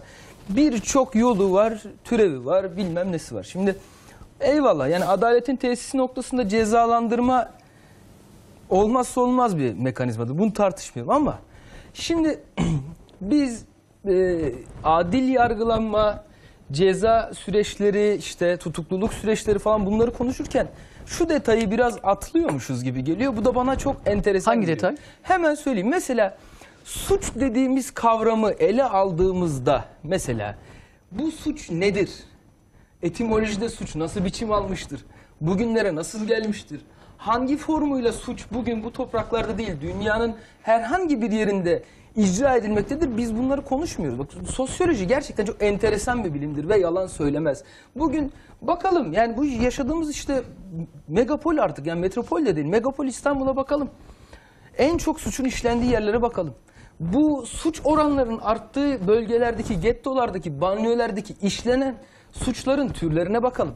Yani biz hep bir sinek avlama derdindeyiz ama hiç bataklık kurutalım demiyoruz. Yani biz bugün işte 28 Şubat'ı konuşuyoruz ama 28 Şubatlar bir daha olmasın sorusunun CHP'nin af konusunda e, kafasının karışık olduğunu düşünüyor ya musunuz? CHP'nin bir Çünkü şöyle şöyle şöyle bir yani, onu, onu her konuda Kılıçdaroğlu'nun şöyle bir çıkışını hatırlıyorum. Ee, şunu söylemişti mesela. Bir af gelsin bakalım demişti. Ee, AK Parti'nin tavrını görelim demişti. MHP tasarıyı getirdikten sonra e, biraz gündem değişti. Nasıl değerlendiriyorsunuz? Onu şöyle söyleyeyim ben Recep Bey daha iyi bilir siyaset bilimci. Birazdan zaten ona geçeceğiz. Yani yani Epey siyaset geçeceğiz. dediğin şey aman o ne diyor bu ona bir bakalım bir taş atalım 40 deli böyle- siyaset böyle yapılmaz. Yani ya ben mesela şunu çok öncelerim yani pek beceremeyen bir adam ama öncelerim yani işte Yani şunu sormak istiyorum Hemen, aslında. ben Sözünüzü hemen- kesiyorum özür dilerim de. Yani bir partinin başka bir partinin tavrını görerek aksa kara, karadıysa ak demesi doğru mu? Bu- bakın bu, bu- çok bunun- önemli. bunun adı- bunun- yani bunun adı, e, bakın, bunun adı işte AK Parti şimdi tavrına bakalım. Ben de farklı şeyler ben çağrıştırıyor. hemen izah edeyim dilim döndüğünce haddimi aşmadan üstad müsaadenle. Zarf ile mazruf arasında bir ilişki var. Biz hep zarfa bakıyoruz ama mazrufla alakalı bir şeyimiz yok, merakımız yok. Şimdi CHP, ya işte AK Parti ne dedi biz ona... Siyaset, sadece siyaset özelinde söylemiyorum. Hayatın her anında, her alanında ilke koymak meselesi budur. Yani mesela çok basit bir örnek vereyim. Siz daha iyi bilirsiniz gerçi de. Kur'an'ın bir adı da Furkan'dır. Furkan ölçü demektir. Kur'an her konuya dair bir şey söylemez ama size ilke verir. Ve siz Ölçü bu ilke ilkeler özelinde bir şeyler yaparsınız. Şimdi eğer senin omurgan yamuksa, eğer ilke konusunda sıkıntı yaşıyorsan, kendi varoluşunu inşa, inşa ettiğin o analitik düzlemde bir merkezden sapma durumu varsa Allah sonunu hayretsin. Bunun çaresi Evet. yok. Hemen siyaset bilimcimizle devam edelim. Recep Seyyar e, bu konuya ne diyor? Yani e, Şimdi e, tavırlar neye göre e, belirlenmeli? Şimdi ilk önce Cumhuriyet Halk Partisi zaten kendi tavrını neye göre belirlediğini Türkiye Büyük Millet Meclisi'nde bir milletvekilinin ağzıyla ifade etmişti. Kendisi e, tavrını ifade ederken Sayın Milletvekili ne demişti? Hepimiz seyrettik. Biz dedi millet tarafından burada muhalefet göreviyle görevlendirildik. İşte AK Parti dedi iktidar partisi olarak dünyanın en doğru şeyini de söylese biz buna muhalefet etmek zorundayız. Biz buna itiraz etmek zorundayız. Çünkü e, bu halk, bu millet bize bu görevi verdi. Bunu millet meclisinde bir milletvekili söyledi. Yani kendisini siyaseten buraya oturtmuş bir partinin işte af konusunda veya farklı bir konuda e, ne söyler diye kimse ağzının içine bakmaz. Kimse Cumhuriyet Halk Partisi acaba bu konuda ne diyecek diye beklemez. Çünkü ortaya bir şey koymak gibi bir iradesi yok. Birisi bir şey söyleyecek o da ona karşı çıkacak. Kendisini Recep bu şekilde e, tanımlamış. Burada MHP'nin e, bir af tasarısı var. Af tasarısının içeriği var. Evet. Belirli e, kapsadığı e, suçlar var, kapsamadıkları var. E, bunlarla alakalı neler söyleyeceksiniz? Nasıl Şimdi? Doğukan Bey'in bıraktığı yerden devam etmiş olalım. Ee, bizi tarihimizde, yakın tarihimizde Rahşan Affı diye bir tecrübemiz var. Rahşan Affı diye bir şey yaşadık. Daha 20 senelik bir hikaye yani belki. Ee, bence af teklifinin içeriği çok konuşuluyor zaten. Bize 20 senede bir önümüze bir af teklifi getiren sebepleri konuşmamız lazım. Bu 20 yılda yeni hapishaneler yapıldı. Yeni gardiyanlar alındı.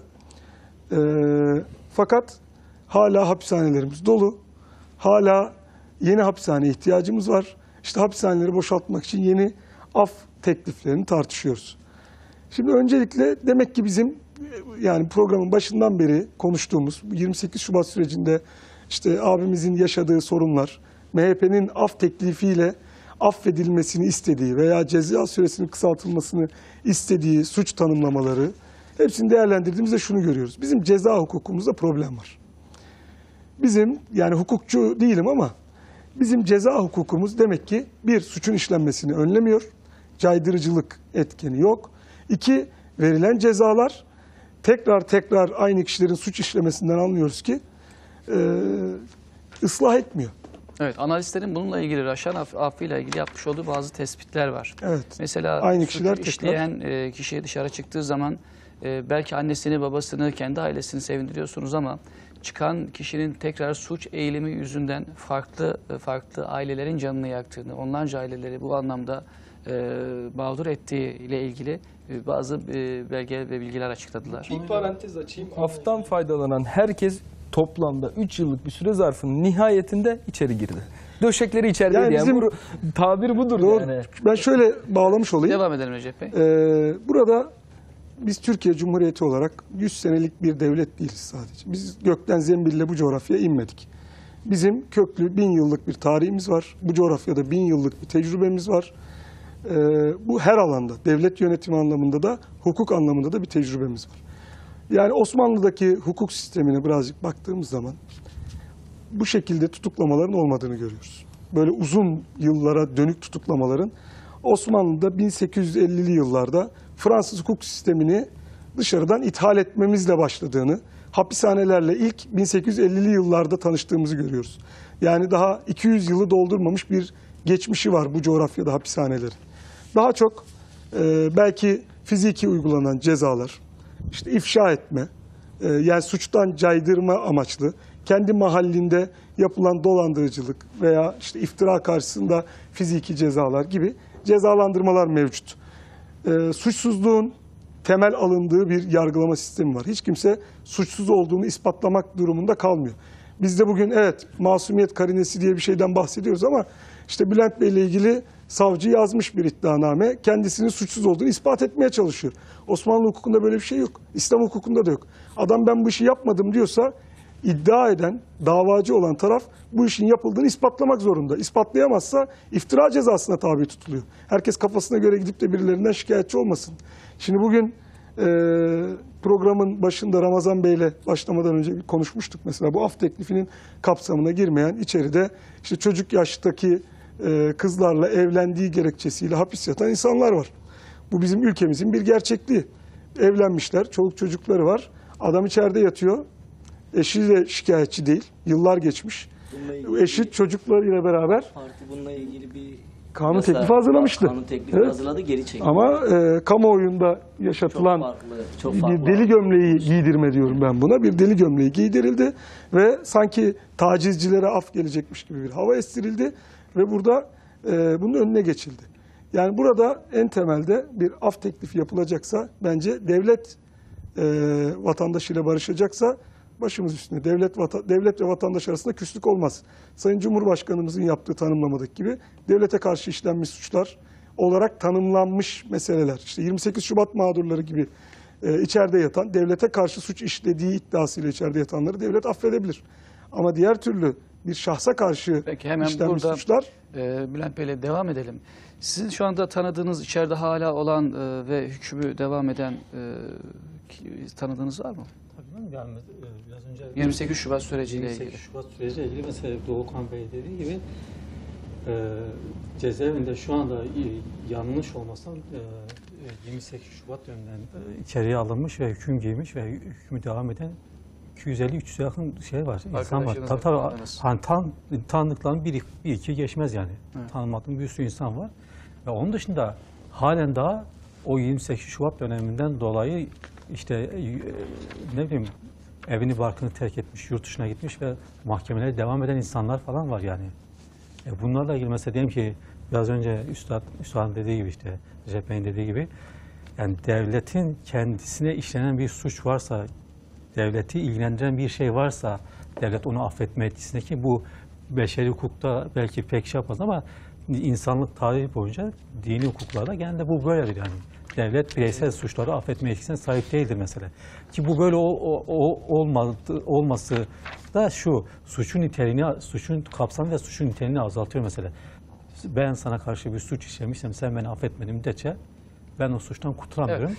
Şimdi e, bir, hemen bir soru geliyor. Ben e, soruyu yine size yönelteyim. E, MHP'nin e, af önerisi neden MHP'den geldi şeklinde bir soru var. Nasıl cevaplarsınız? Allah onu Milliyetçi Hareket Partisi'nde sormak lazım ama ben de çok fazla yani takip ettiğim kadarıyla temellendiremediklerini görüyorum açıkçası. Evet. Yani şöyle bir o- problem as- var. Aslında o konuyla ilgili ben yani burada hani bir parti adına da bir e, fikir adına konuşmak değil de ben onu şöyle yorumluyorum. E, e, MHP Anasol hükümeti döneminde ki 28 Şubat döneminin 3 aktörü falan var. Bunların içerisinde MHP de var. MHP kendi döneminde kendisine e, kendi ideolojisine ve fikrine yatkın olan bir takım insanlar o dönemde kendi eliyle içeri alındı. Bence e, diyetini yani onun diyetini ödeme gibi bir şey var. Niyet var. E, tamam size o dönemde biz aldık. O dönem bir karanlık dönemdi. Kimse önünü göremiyordu. Ama bu dönemde sizi dışarı çıkartmakta ben boynun borcu gibi bir şey var ki bu konuyla ilgili seçimlerden önce gidip cezaevinde e, görüştüğü ve ziyaret ettiği insanlar var. Yani burada da temel olarak işin bir de şöyle bir boyutu var. Şimdi Sayın e, İçişleri Bakanımız Süleyman Soylu Bey uyuşturucu ticaretine karşı savaş açtı. Dedi ki nerede torbacı bulursanız yakaladığınız yerde engelleyin dedi. Sorun yaşarsanız bana gelin dedi. Bu kadar açıktan meydan okudu. Şimdi e, evet öyle bir ifade de kullandı Karadeniz tabiriyle belki. E, şimdi burada MHP'li e, temsilciler af teklifini savunurken diyor ki içeride yatan uyuşturucu baronu yok. Hepsi Doğu ve Güneydoğu'dan gelmiş gariban çocuklar. Yani torbacı diye tarif ettiğimiz insanlar bunlar. İşte okul önlerinde orada burada bir şekilde uyuşturucu sattıkları için yakalanıp içeriye atılmış insanlar. Şimdi siz bunları bir afla dışarıya çıkartırsanız bir daha sokakta uyuşturucu satan hangi torbacıyı hangi polise yakalattıracaksınız? Hangi polis gelen ihbar üzerine gidip bir torbacıyı O zaman yanlış olduğunu düşünüyorsun. Yani burada bir problem var. Problemin ben e, bu çocuklar içeride yatsın da demiyorum. E, yani bu çocuklar da bu çocukları suça iten Ama sebepleri bir şey var. Hepimiz evladı var, tabii ki. hepimizin çocukları var. Şimdi e, dışarıdan iç, içeriden dışarıya çıkacak e, belirli bir sayı. Ama 81 milyon e, Türkiye'den bahsediyoruz. 81 milyonun geleceğinden bahsediyoruz ve çocuklarından bahsediyoruz. Yani şimdi e, burada çıkartıp salı verdiğinizde tekrar e, biraz önce söylediğiniz e, çok mantıklı geldi bana da bir moderatör olarak hem de e, o zaman okul önlerinde tekrar satışa başlanacak. E, bildiği işi bildiği bilen kişi işi bildiğini yapar sonuçta. Buradaki problem şu. Siz bu çocuğu hapse attınız. Bu çocuğu hapisten çıkartırken bu çocuğa hangi yeteneği kazandırdınız Islah ki edebiliyor muyuz? Önemli bu çocuk bu, evet. hapisten çıktığı zaman başka bir iş yapabilsin. Sermayesi yok. O eski çevresinden başka yeni bir çevresi yok. Belki hapse girdiği için ailesiyle bir iletişimi varsa olanlar için o da kaybolmuş vaziyette. Bu çocuk çıktığı zaman ne yapacak? Yani bu çıkmasın, hapiste çürüsün e, demiyorum. Bu da yanlış. tasarısında e, e, öneride bu var mı? Yani şu şekilde ıslah Ya bu- edeceğiz, bunların aşamaları Yok şöyle böyle devam şey. ediyor Böyle bir şey? Türkiye'nin gündeminde hiçbir zaman olmamış ki biz pansuman tedbirleriyle O zaman, uğraşıyoruz. Aslında Meselenin, burada, sorunun kökenine burada, inmiyoruz. Recep Problem Bey- burada. burada Recep Bey'in söylemine bir şey ekleyelim. Mesela Buyurun. Cezaevlerinde e, mahkumlar suç kapsamına göre taksim ediliyor. Mesela diyelim ki bana bunu bir e, benim yanımda kalan bir adli suçtan e, yatan bir kardeşimiz söylemişti. Diyor ki mesela mesela şey Doğu Bey'in dediği gibi tam biz hep sineklere avlanmanın peşindeyiz ama bataklığı kurutmak için herhangi bir girişim ve çabanın içerisinde değiliz. Cezaevine bu insanları getirdiğimiz zaman bu insanlar cezaevinde en azları e, bu suçlarda yani mesela ki uyuşturucu işte ne bileyim e, e, torbacı dediğimiz ka- kapkaç hırsızlık falan dediğimiz o işte profesyonel olmuş insanların yanına gönderiyor onları. O çocuk normal şartlarda belki zorunlu belki hayat şartlarından dolayı Veya bir hata yapmış yaptı, olduğu bir yanıldı. kapkaçtan dolayı cezaevinden çıkarken profesyonel bir e, hırsız, profesyonel bir torbacı, profesyonel bir şey olarak çıkartır dışarıya. Niye? O tamamen oradaki insanların insafına ve hükmüne bırakılıyor.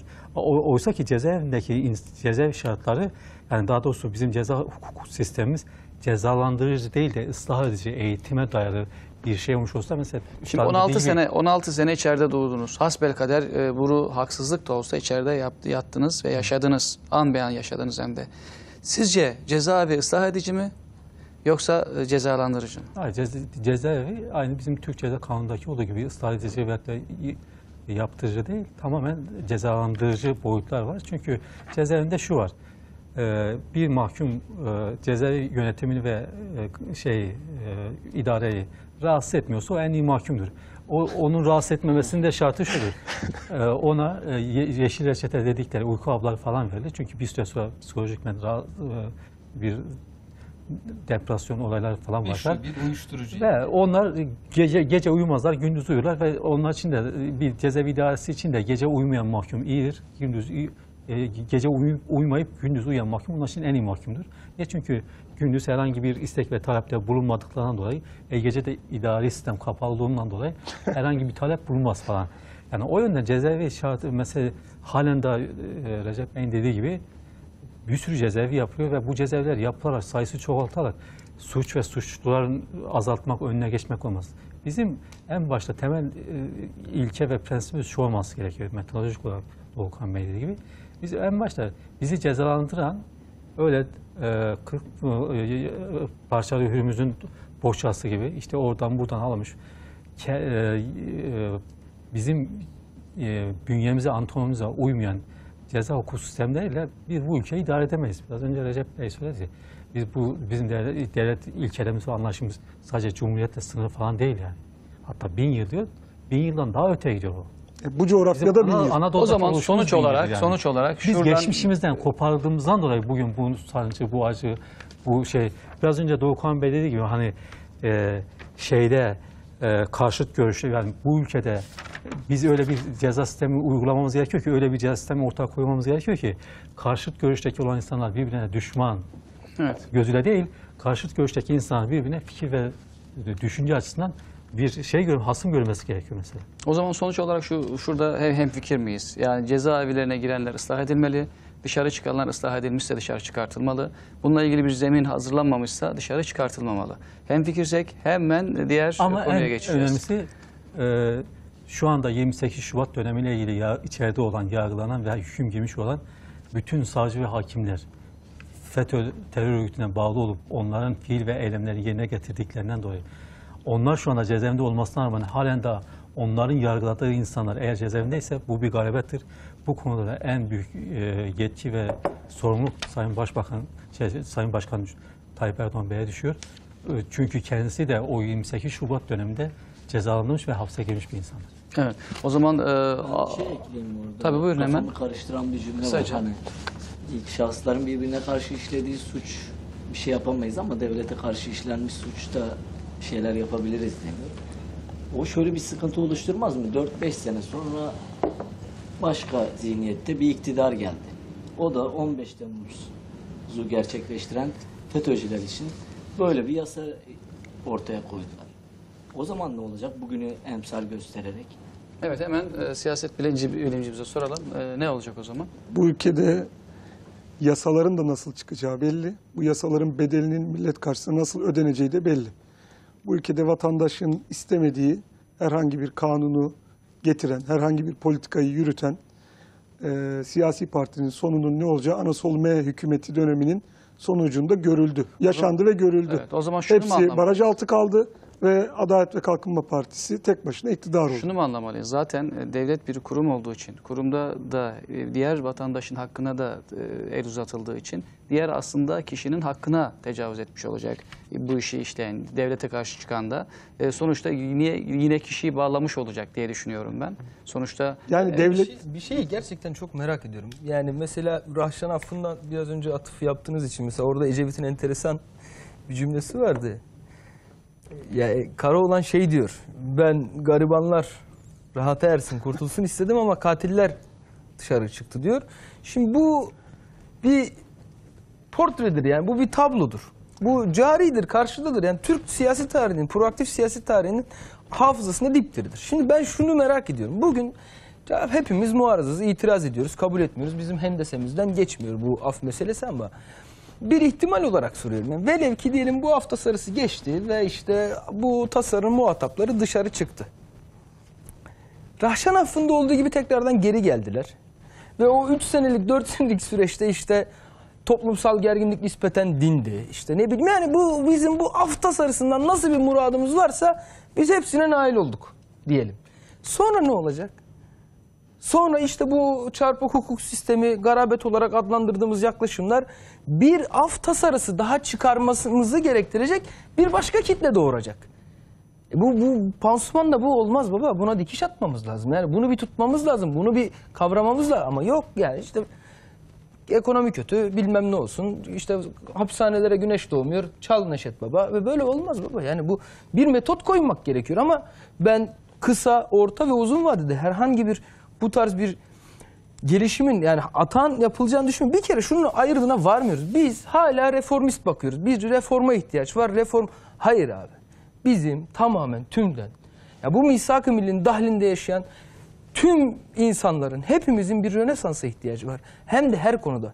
Rönesans'ın kelime anlamı kendine dönmektir. Kendi canlılığını yakalamaktır. Ama biz kendi sabit alanımızdan, merkezimizden savruldukça savruluyoruz. Hem de her konuda. E bu af meselesinin iler tutar bir tarafı yok. noktalayalım, af konusunu tamamlayalım ve hemen yerel seçimlere doğru gidiyoruz. Ee, siyasette kulisler canlandı, hareketlendi, ısındı. Herkes kim kimle ittifak yapacak, kim kiminle destek temasına girecek, hangi illerden hangi başkanlar e, seçilecek, aday e, gösterilecek. Şimdi ben Güneydoğu'yu çok merak ediyorum. Sizinle başlamak istiyorum Ramazan Bey. E, Ramazan Dündar Kaya ile devam edelim. Şimdi e, Güneydoğu'da bir e, HDP ve Hüdapar gerçeği var. Çünkü tabanın isteği ve eğilimi de o yönde. Çünkü hani daha çok kendilerini de buluyorlar o iki partiyi. Burada Hüdapar'a mı daha çok eğilim var, HDP'ye mi eğilim var? Parti de ama orada hala ikinci parti konumunda. Evet. Birinci parti. birinci parti. Şey, Birinci parti yok şu anda, birinci parti. Evet, HDP ve AK Parti. Şimdi orada Hüdapar'a karşı bir teveccüh var ama bu oy oranlarında şimdi AK Parti'nin de seçime girmesinden dolayı biraz e, Hüdapar orada tam anlamıyla istediğini almış değil.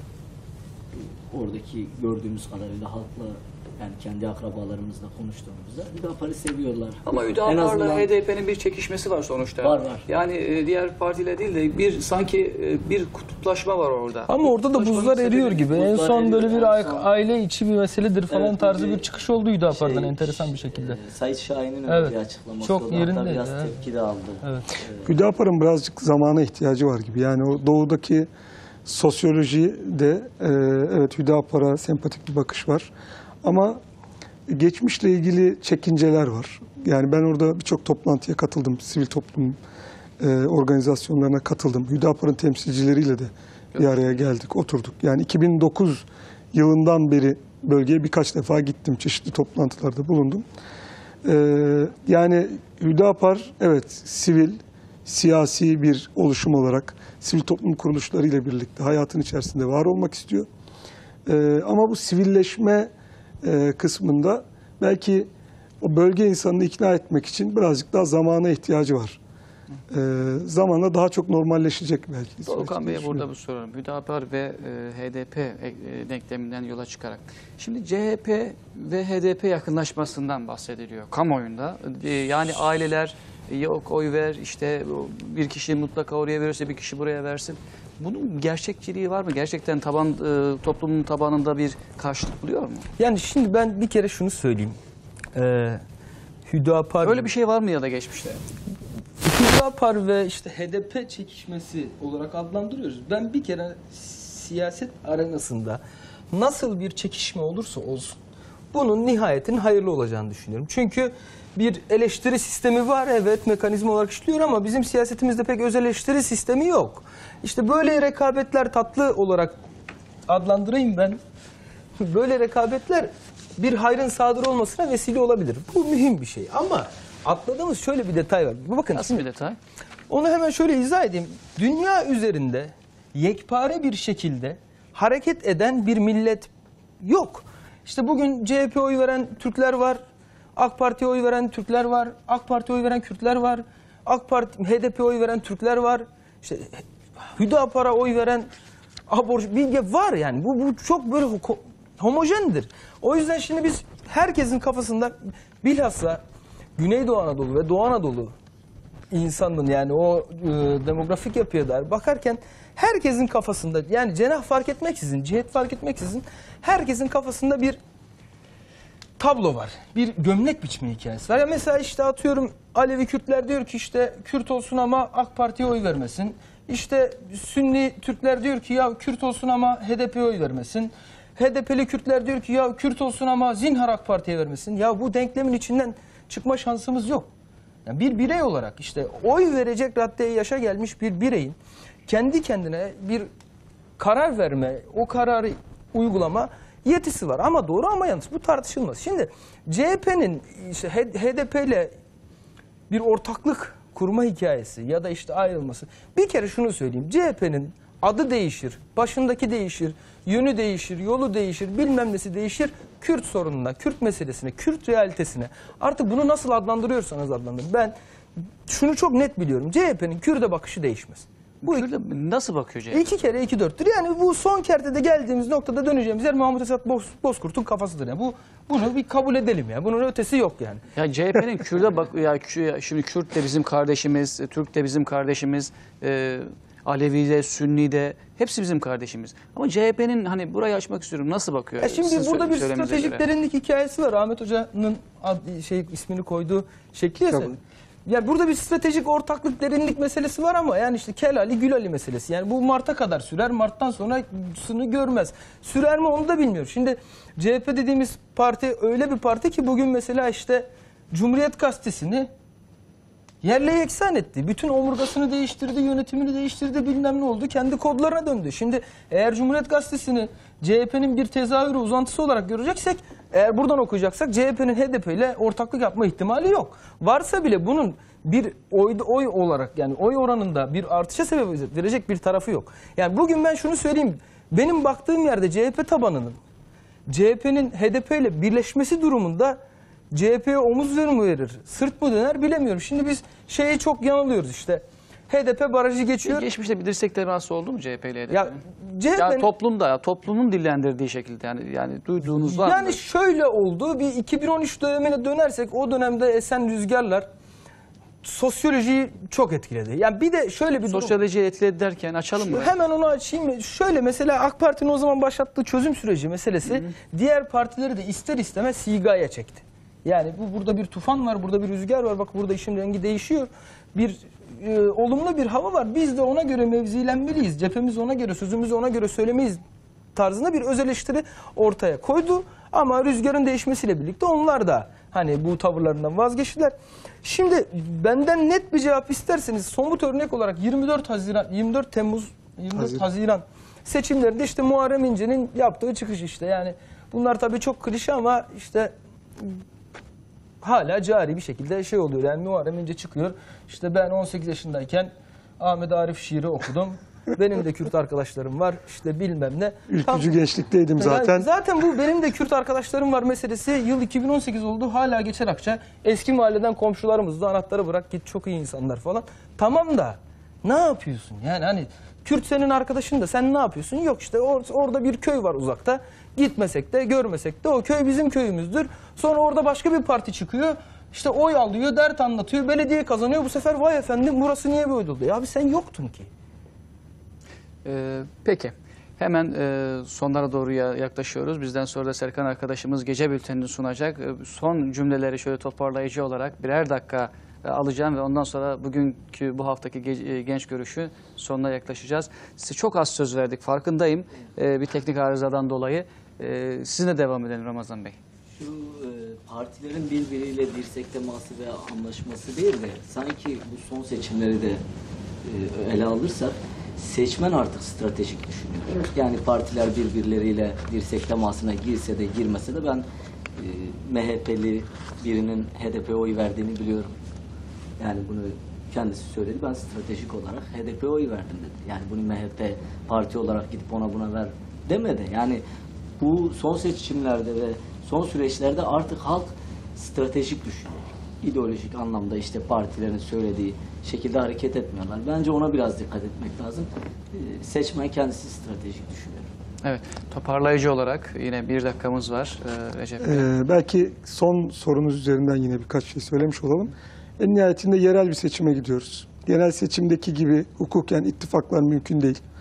Ee, birazcık daha e, siyaset kendi içinde ittifak yöntemini üretecek. İttifakların amacı ne? Belediye seçimlerinde bir şehri kazanmak. İşte Cumhuriyet Halk Partisi'nin hedeflediği nokta İstanbul, Ankara, Bursa gibi büyük şehirlerde e, bir kazanım sağlayarak oradan ileriye dönük, genel seçimlere dönük bir atılım yapmak. Hatta Muharrem İnce katıldığı bir televizyon programında e, İstanbul'a CHP'den birisi aday olur veya muhalefet adına birisi aday olup da işte 20 yıl sonra İstanbul'u kazanırsa o zaten 2000 işte e, 22'deki Cumhurbaşkanı adayıdır doğal olarak dedi. Yani o bu kadar İstanbul onlar için kilit bir yer. Ben gelmeden önce birazcık eski şeylere baktım, e, oy oranlarına. Sonra bu ORC Araştırma ve Danışmanlık Şirketi hemen geçen ay, Eylül ayında bir araştırma yapmış. Büyük şehirlerde sadece 5 tane büyük şehirde araştırma yapmış. Yerel seçimlerde ne olur diye. Kararsızları katmadığımız zaman ben baktığım zaman İstanbul'da hani MHP e, Şöyle bir İstanbul gö- aday gösterelim bir e, ekrana doğru da. Ee, gösterelim. gösterelim. Hem şey künyesi Son de altında yazıyor herhalde hukuken e, açıklamamız lazım. olalım. Yani en son yapılan anket bu olduğu için ben Evet. getirdim.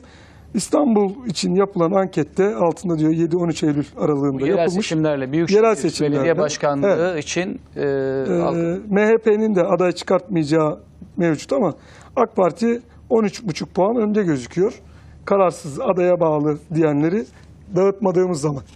Ee, 13,5 puan İstanbul'da fark var MHP'yi saymazsak. evet. Yani MHP de aday çıkartmayacak. Siyasette 2 artı 2 4 etmez ama e, onu hani eşit bile dağıtsanız öyle bir şey mümkün değil ama Evet, Recep, e, bu toparlayalım. kapanma ihtimali yok. Hemen toparlıyorum. Vaktimiz çok az. Ankara'da gördüğünüz gibi yine şöyle göstermiş olalım en azından 4-5 puanlık bir fark gözüküyor.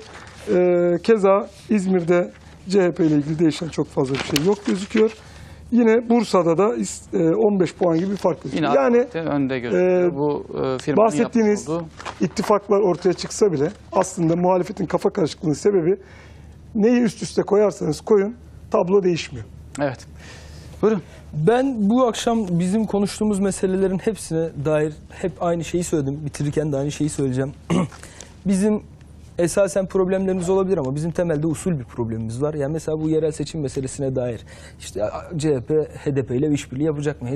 Yani eğer sonunda gene 60-70 belediyesine kayyum atanacaksa çok da bir önemi yok. Bu bir güç basit bir güç gösterisinden yine bir pansumandan başka bir şeye geçmeyecek. Ya da Evet. işte af tasarısı çıkacaksa çıkmayacak. Vaktimiz e, toparlayalım. Hemen bitireyim. Bizim bir rönesansa ihtiyacımız var. En kısa zamanda da bunu da millet olarak yaşarız ve daha mutlu günleri hep beraber yürürüz. Evet. Bülent Bey. Sizle devam edelim. Hemen bir teşekkür konuşması alalım. Bizi bu programa davet ettiğiniz için de tabii ki ve görüşlerinize kamuoyuyla, insanlarla paylaşmak. Teşekkür ederim.